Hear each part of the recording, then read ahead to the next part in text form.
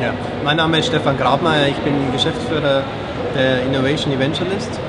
Wir beraten Unternehmen zu Social Enterprise und Innovationsformaten und zuvor war ich viereinhalb Jahre verantwortlich bei der Deutschen Telekom für das Thema Enterprise 2.0. So, wir würden jetzt gerne so drei, vier Thesen, die der Peter Kruse hier auf der Zukunft Personal präsentiert hat, mal auf ihre Praxisrelevanz oder inwieweit sie in der Praxis schon äh, irgendwie ihren Niederschlag gefunden haben, einfach mal befragen.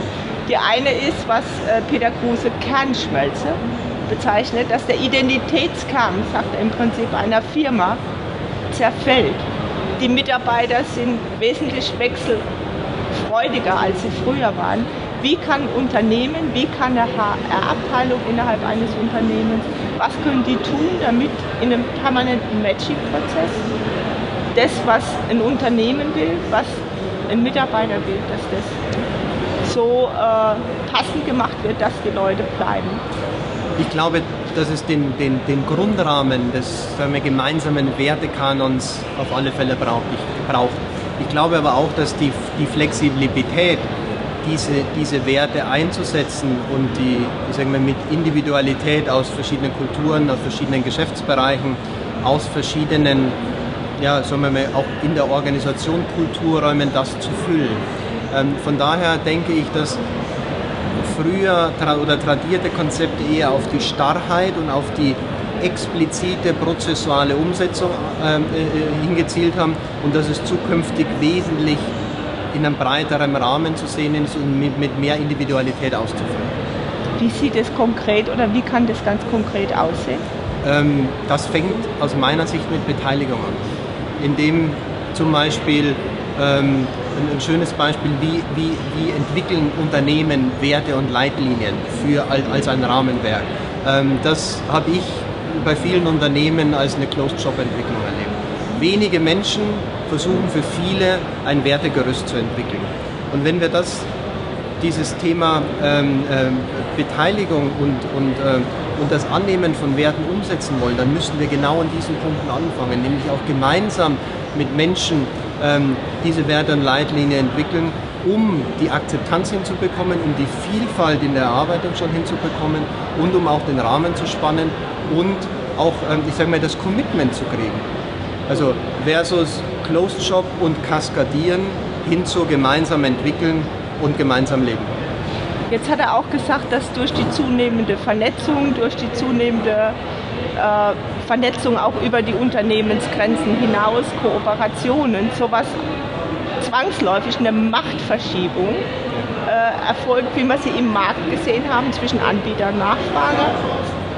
Jetzt seine These findet eine Machtverschiebung statt, hin von einer entscheidet alles, dass doch mehrere oder gar viele, so viel als möglich, an Entscheidungsprozessen in irgendeiner Form einbezogen werden.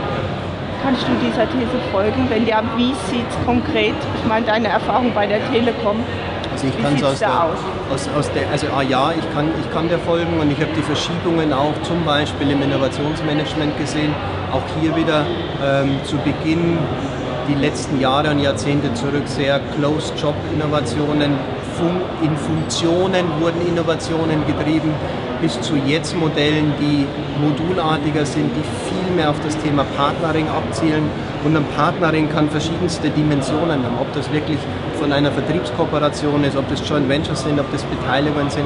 Also letztendlich mal Ergebnis offen. Aber die Bereitschaft, in diese Modularität einzutreten, das ist für tradierte Unternehmen ein riesengroßer Schritt.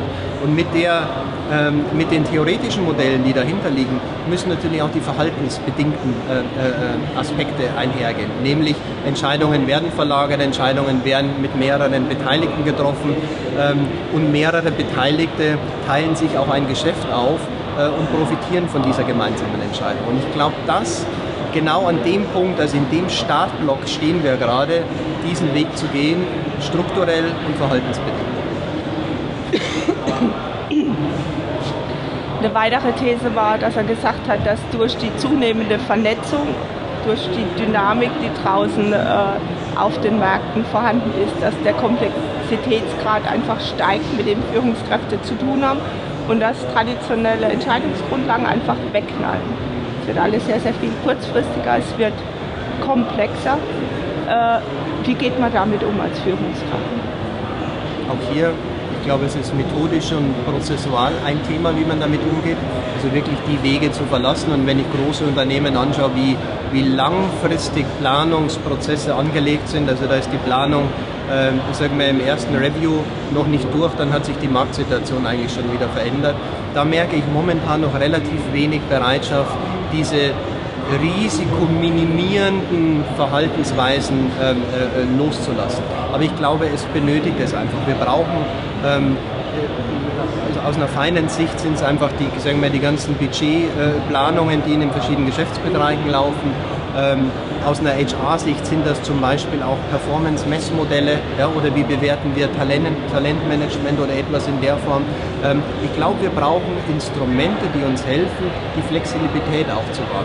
Und das sehen wir zum Beispiel, wenn wir das Thema Lean Startup anschauen und schauen uns die Instrumente der, der Corporates an, dass diese beiden Welten und speziell die Corporate-Welt von der Lean Startup-Welt sehr viel lernen kann. Also wie werden heute Businessmodelle gebaut, wie werden Produkte gemacht. Also das Thema Prototyping nimmt immer mehr, äh, mehr Einfluss. Und dieses Thema, Dinge zu entwickeln, zu vertesten, aber entweder dann zu bewahrheiten und weiterzuführen oder auch schnell zu sagen, wir verwerfen das Ganze wieder. Diese Eigenschaften mit einfließen zu lassen und die skillmäßig zu lernen, zu erlernen, ich glaube, das ist ein ganz wichtiger Punkt. Da sehe ich einen großen, einen großen Bedarf. Und letzte Sache, die ich noch ansprechen wollte, die ersten Ergebnisse von einer Studie, die gerade durchgeführt werden, äh, als es wurden Entscheidungsträger äh, befragt, Führungskräfte. Die haben alle irgendwie gesagt, für, oder ein Großteil hat gesagt, Führung muss sich verändern. Ungefähr 20 Prozent dieser Leute haben, haben sowas wie einen Sehnsuchtsraum definiert, dass sie relativ klar sagen, es muss sich verändern, aber haben letztendlich keine Vorstellung, wo es hingehen soll. Wie würdest du diesen Sehnsuchtsraum von Führung vielleicht inhaltlich äh, fühlen wollen? Was siehst du da?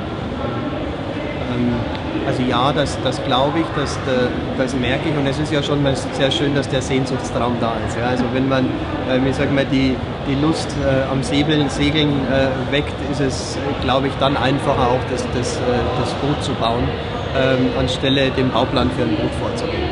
Also von daher glaube ich, ist es der richtige Weg. Ähm, ich würde sagen, es ist eine Aggregation. Es ist eine Aggregation von vielen Elementen, die wir erleben. Äh, von vielen aus einer HR-Sicht heraus, äh, von neuen ähm, Verhaltensweisen, die wir brauchen, ähm, aber auch von den Modellen, wie, wie Geschäfte neu modelliert werden. Also ich kann es beispielhaft so machen, ähm, in, der, in der Geschäftsmodellentwicklung sind die Business Model Canvas einfach eine wunderschöne Methode, sehr schnell, sehr haptisch, sehr visuell Dinge zu gestalten. Das transportieren wir momentan zum Beispiel auf das Thema Leadership. Ähm, das heißt, dieses, dieses so ein Instrument zu nehmen und eine Aggregation von verschiedenen Elementen für das Thema Führung zu verproben. Da sind wir noch nicht im Endstadium, das ist jetzt eine Verprobung. Aber ich glaube, genau in dieses Thema müssen wir eintauchen. Und wenn die ein Fünftel, die die Sehnsucht haben, an dem Thema mitarbeiten, dann wäre ich froh, wenn wir solche Menschen auch zusammenbringen. Daran werden wir arbeiten. Danke. Danke.